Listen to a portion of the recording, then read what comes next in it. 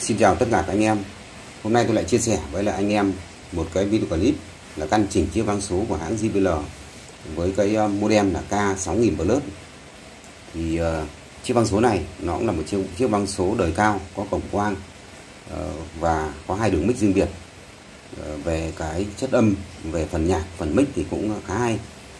Thì hôm nay tôi sẽ chia sẻ với anh em về cách uh, vận hành chiếc uh, vang số này.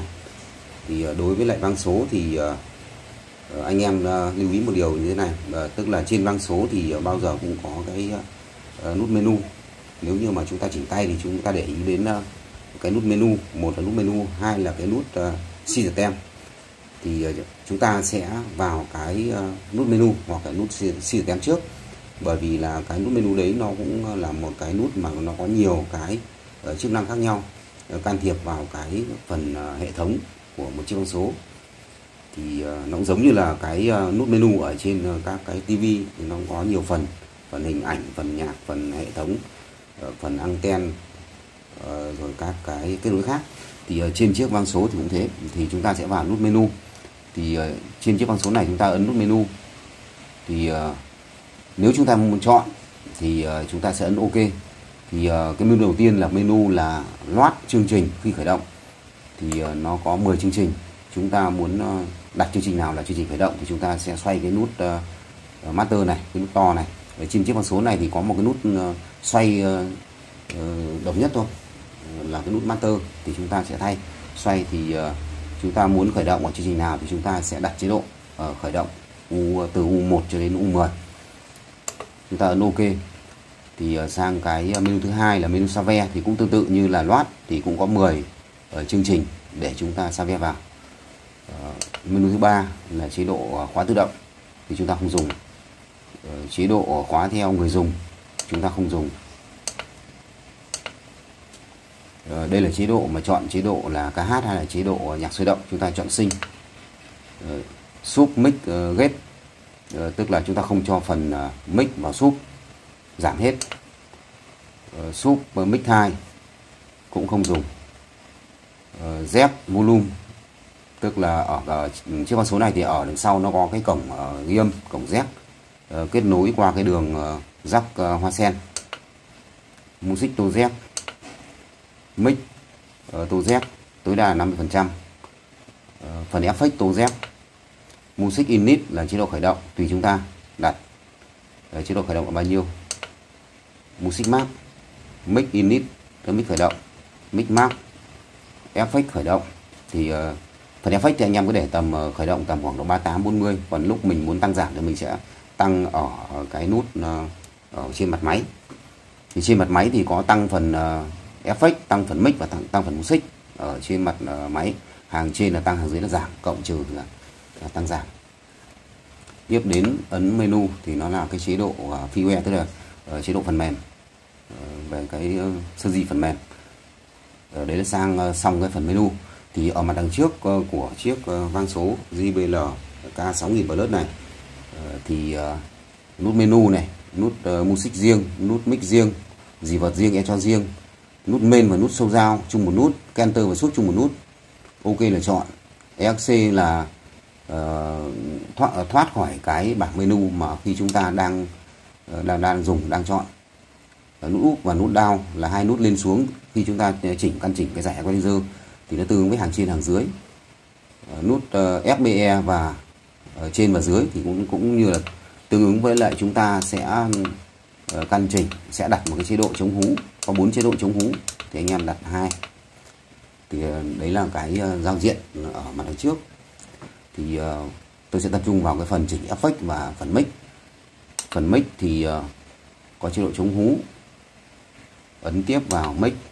Thì mic uh, noise gate tức là ờ, đặt một cái chế độ mà giảm cái nhiễu của cái đường mic đầu vào.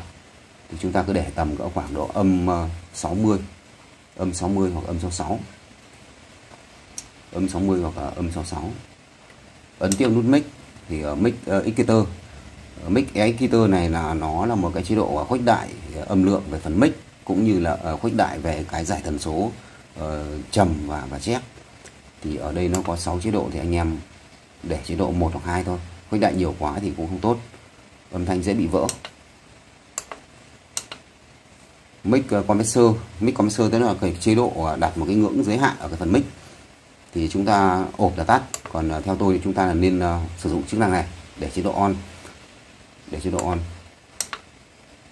Uh, mic com uh, compressor theo, theo search uh, make uh, compressor theo search đó là cho cho phép chúng ta đặt một cái giá trị biên độ uh, để bắt đầu ờ, thực hiện ờ, cái uh, vấn đề mà mà mà uh, nén tín hiệu.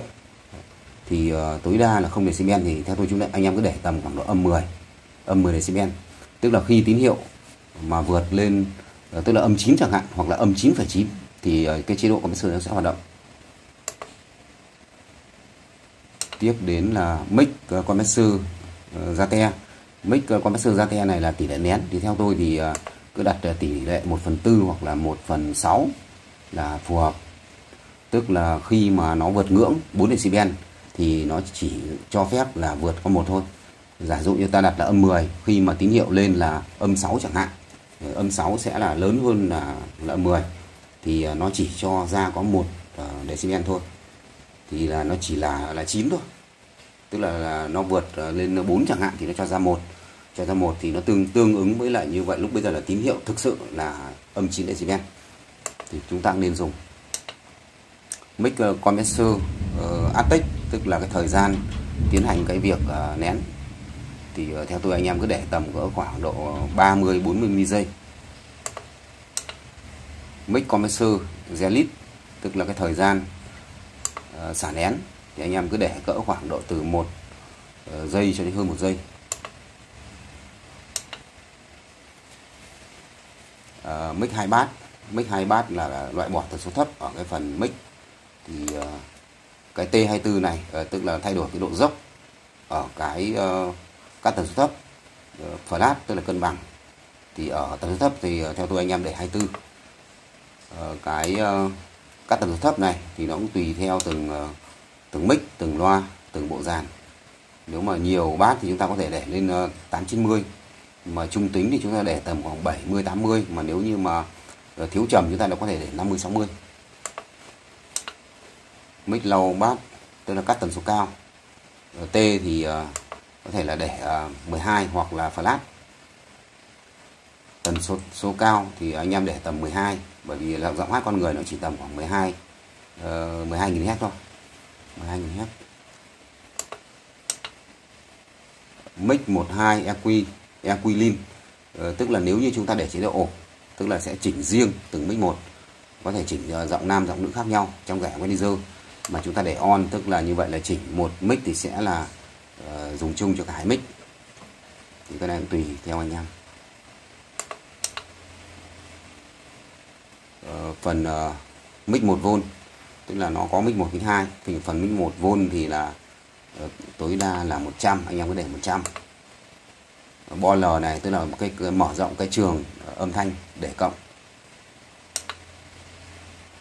Mic 1 EQ chúng ta để on để chúng ta chỉnh cái phần equalizer của phần mic 1 vào cái giải equalizer thì uh, trên chiếc vang số này là có 15 giải.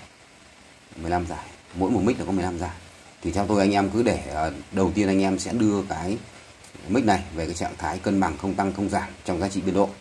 Và sau khi chúng ta chỉnh phần effect xong thì chúng ta sẽ quay trở lại chỉnh cái phần ờ, mic ờ, xem xem là phần bát bass phần trung phần chép nó thừa, nó thiếu thì chúng ta sẽ bổ sung ở cái phần equalizer trong phần mic. Còn lúc đầu chúng ta sẽ cho nó vào ở trạng thái cân bằng. Sang cái ở mic 2 đây đây là chỉnh riêng mic 2 thì nó tương tự như mic 1 thôi. Nó tương tự như mic 1 nó tương tự như mic 1 tức là các cái menu ở trong mic 1 và mic 2 là là tương tự nhau. Tương tự nhau. À, bây giờ tôi sẽ sang cái phần chỉnh uh, về echo và e gì vậy? Thì sẽ sang chỉnh echo trước. Thì phần echo tối đa cũng là 100 anh em mà để 100 phần à, uh, echo delay. Cái cho delay này thì ờ, cũng tùy theo tính chất của loa. Ờ, thì ờ, tôi cũng đã có những clip mà chia sẻ với anh em ấy là cái delay này nó rất quan trọng và có thể ta thay thay đổi về cái giá trị thì nó cũng thay đổi về cái phần âm sắc, độ dày của âm thanh độ sáng và độ dày của âm thanh trong cái cái cho delay này. Thì anh em có thể là xây dịch vừa xây dịch vừa alo. E cho giờ delay tức là căn chỉnh cái độ trễ của từng kênh ở trong cái phần delay. Nếu mà anh em không thạo thì tốt nhất là để ờ, cân bằng 0% e cho bit cái bit này thì chúng ta cũng cần ờ, có sự thay đổi này. Cũng tùy theo loa. Chúng ta xây dịch thì là nó cũng có, sẽ phù hợp cho từng loại loa và xây dịch ít một. E cho pre delay tức là cái khoảng thời gian mà từ lúc có cái hiệu ứng có cái âm sắc thô mộc cho đến cái Ờ, cái cái âm sắc mà đã có ờ, căn chỉnh cái hiệu ứng. Thì ờ, cái này thì anh em để tầm khoảng độ 10 trên 10 mili giây e cho giờ và delay à, tức là cũng căn chỉnh à, cái khoảng thời gian giữa kinh giờ và kinh L trong cái phần pre delay e cho delivol à, tức là cái e cho tổng. Thì anh em cứ để tầm trăm. Anh em cũng lưu ý một điều như này ở chế độ e cho hai bát là chế độ mà loại bỏ tần số thấp, thì ờ, cũng tùy theo từng đôi loa. Có những đôi loa là cái âm bát nó ủ nó rền thì ờ, anh em phải đặt ờ, cái cho hai bát này cao lên một chút. Bình thường chúng ta có thể là để tầm khoảng hơn 100 nhưng mà đối với lại những cái đuôi loa mà nó có đuôi ù, rèn thì chúng ta phải đặt lên tầm 180 200 thậm chí phải trên 200 để cho âm bát nó được tròn, được gọn hơn. Nó dễ nghe hơn. Tiếp đến là e cho lau bát, tức là cắt tần số cao của phần e cho thì ờ, anh em cứ để tầm cỡ khoảng độ dưới 10.000 có thể là trên 8.000 e, e cho e cho EQ ờ, chúng ta để chế độ on để chúng ta chỉnh cái giải EQ này equalizer ở trong phần e cho. Thì uh, trên chiếc uh, vang số này thì có 5 giải equalizer 5 giải equalizer thì uh, chúng ta sẽ đặt vào các cái vị trí thuộc giải âm trầm trung và âm chép để khi cần thiết chúng ta có thể là tăng giảm các cái vị trí trong các cái giải âm đó uh, sang phần dì vợt phần dì vợt thì ờ, uh, dì vợt vôn. Thì uh, theo tôi thì uh, ít có người mà hát gì vọt là hay. Chúng ta không phải là những ca sĩ chuyên nghiệp. Uh, cho nên rằng là cái cơ bản khi chỉnh băng số là phải dễ hát phải dễ hát. Mà hát nó thoải mái nhẹ nhàng thì là uh, nó mới, mới mới dễ hát được. Chứ ai hát cũng được thì thì mới được. Chứ còn uh, nếu mà còn uh, chúng ta thích chỉnh chế độ riêng thì chúng ta sẽ lưu vào cấu hình riêng. Thì gì vật chúng ta để vừa phải thôi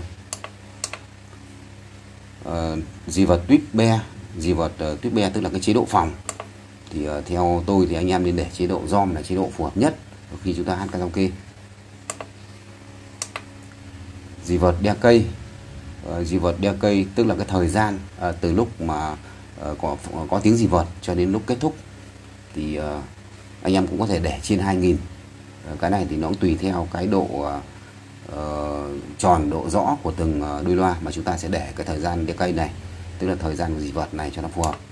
Uh, có thể là loa mà nó rõ tiếng thì chúng ta phải để nó 2004 2006 chẳng hạn từ 2004 2006 mà nếu như mà loa mà nó không rõ tiếng thì chúng ta phải giảm bớt đi ờ, xuống 2002 2003 cái này nó cũng tùy theo loa.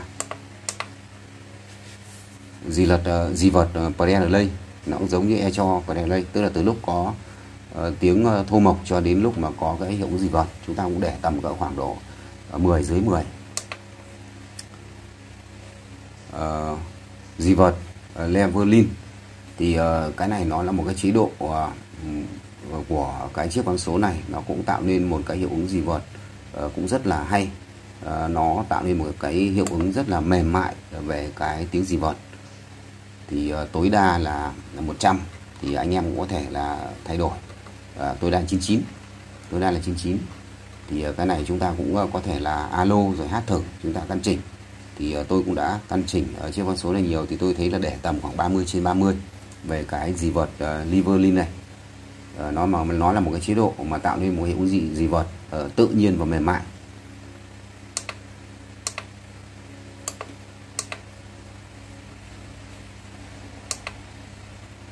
Và trong phần dì vọt thì ờ, cũng có dì vọt là hai bát tức là cắt tần số thấp của dì vọt. Thì ờ, anh em cũng cắt tầm khoảng độ trên 100 tầm trên 100 dì vọt lau bát cắt tần số cao của dì vọt thì anh em cắt trên 10.000 cắt trên 10.000 dì vọt EQ on cũng để on để chỉnh các cái giải equalizer uh, equalizer của trong phần dì vọt cũng có 5 giải equalizer thì chúng ta sẽ cũng đặt vào Ờ, năm cái vị trí thuộc các cái giải âm trầm trung chép để chúng ta căn chỉnh cho nó tiện. Thì ờ, phần dì vợt ờ, nó là như thế. Thì anh em là lưu ý tập trung vào chỉnh phần e cho nhiều hơn. Phần dì vợt thì cũng căn cứ theo cái không gian. Bởi vì mỗi không gian nó có một cái hiệu ứng về vang rộn vang nó khác nhau. Thì là chúng ta sẽ căn chỉnh cái dì vợt phù hợp với không gian. Về phần uh, main và sâu giang thì chúng ta sẽ ấn vào phần main. Trong phần main thì có phần âm lượng và ra cổng L. Phần âm lượng ra cổng L. Uh, tối đa là 12 decibel. Thì uh, tùy chúng ta chúng ta thích âm lượng ra cổng giờ là lớn hay nhỏ thì chúng ta sẽ thay đổi bằng cái giá trị vôn và tín hiệu xuất ra trên ờ, cổng giờ trên main uh, phần uh, main uh, mute tức là chúng ta có thể là tắt uh, cái tín hiệu ra hai cổng giờ thì chúng ta không tắt thì chúng ta để ốp. Music to main. Mic to main. Dì vật to main. Echo xuất ra main. Main L delay tức là chỉnh cái độ trễ giữa kênh L và kênh giờ cái này nó cũng rất uh, hiệu quả khi chúng ta thông thạo về căn chỉnh nó cũng uh, có một cái tác dụng làm cho âm thanh như vậy là nó tương đồng về thời gian ờ, ở về tốc độ về thời gian. Nó làm cho âm thanh như vậy là nó rõ nét hơn rõ nét hơn. Main EQ để on.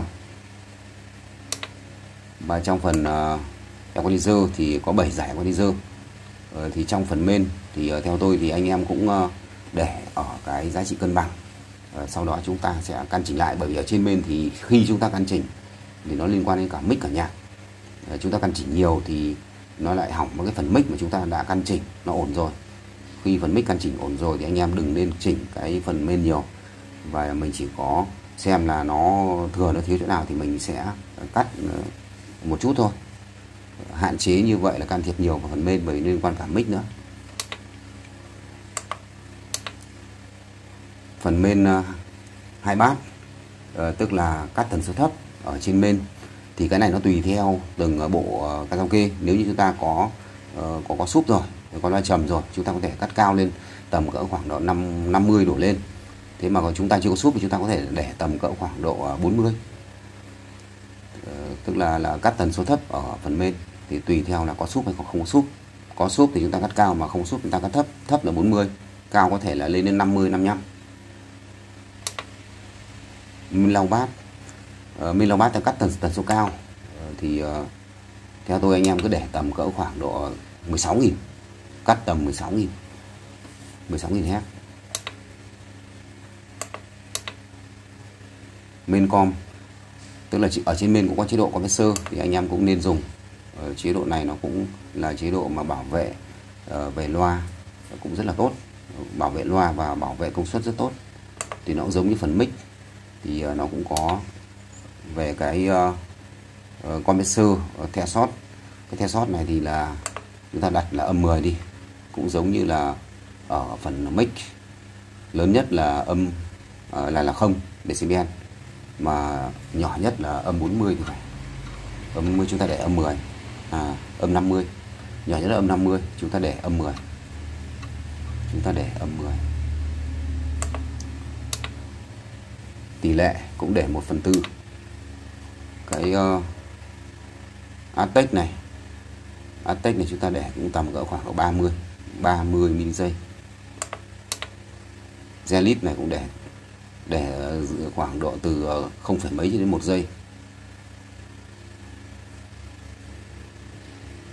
Không phải mấy cho đến 1 giây.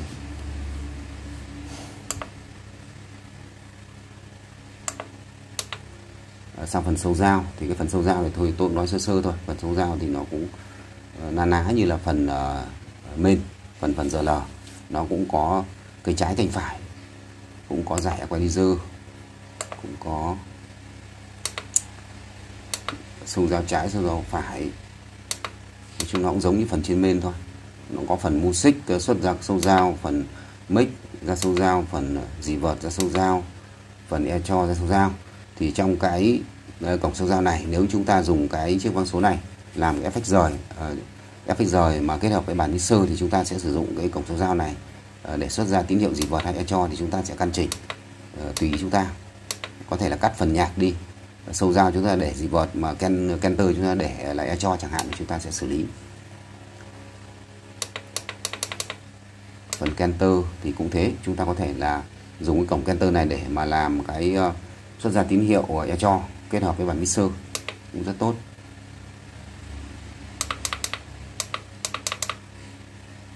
Sang cái phần uh, súp.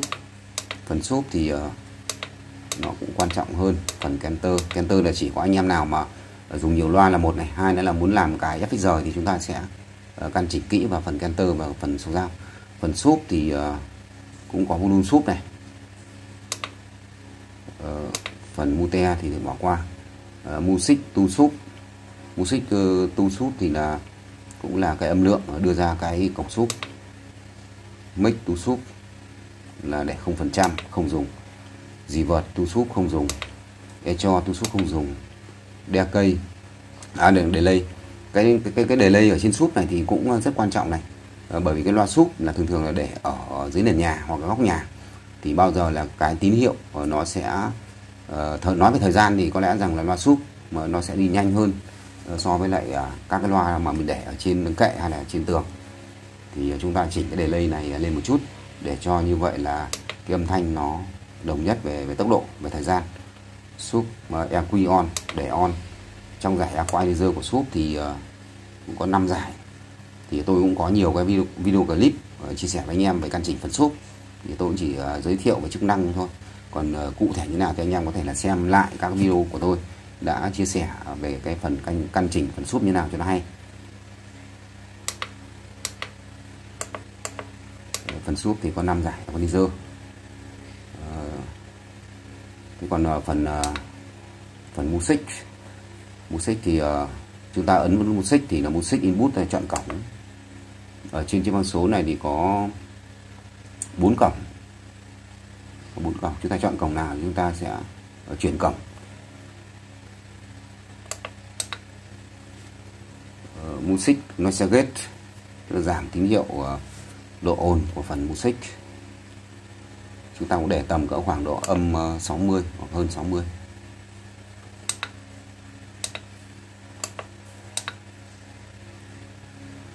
ở đây thì nó có các cái chế độ cho chúng ta chọn trong từng cổng một trên chiếc vang số này thì nó có một cái ờ, riêng. Có một cái chế độ ờ, riêng chọn tức là cái tín hiệu đầu vào cho từng cổng. Ví dụ như là ờ, lúc nãy là cái cổng optical cổng quang. Đây là cái cổng tiếp theo là cái cổng VOD về cái phần input tức là phần vào. Tiếp đến là phần AUX, phần bmg tức là các cổng đều có cái cái cái, cái chế độ riêng hết. Chế độ riêng về về cho phép chúng ta là đặt cổng nào uh, lớn hơn cổng nào bằng nhau hay là tùy theo từng cổng? Môn xích hai bát nó cắt tần số thấp.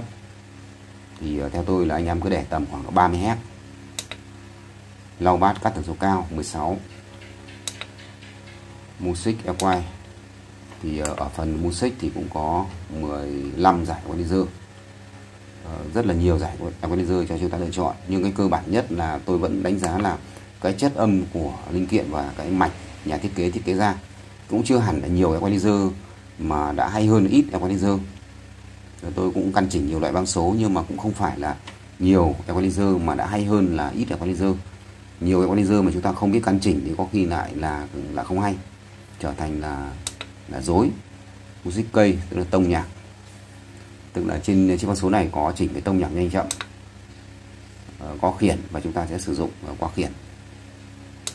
Thì phần music thì ờ, tôi cũng có nhiều video clip chia sẻ về căn chỉnh cái phần ờ, uh, music thì anh em có thể là xem lại ở cái phần uh, căn chỉnh về phần music trên vang số. Thì trên chiếc vang số này thì có 15 giải quân dơ. Thì chúng ta sẽ uh, xác định được đâu là giải bát đâu là giải uh, trung trầm tức là trên bát. Đâu là giải trung cao đâu là giải uh, chép thì chúng ta sẽ căn chỉnh để cho nó phù hợp với lại loa phù hợp với lại bộ dàn karaoke của chúng ta đang dùng. Thì uh, nói tóm lại thì uh, từ nãy giờ thì tôi cũng đã uh, cơ bản uh, là đi hết vào các cái chức năng của chiếc vang số JBL K6000 Plus này.